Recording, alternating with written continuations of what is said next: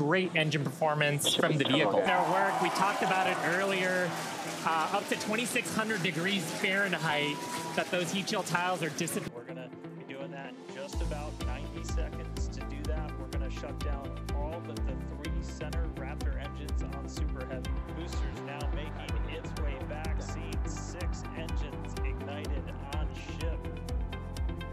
Okay, we got a Star Command. There you see it again. This is.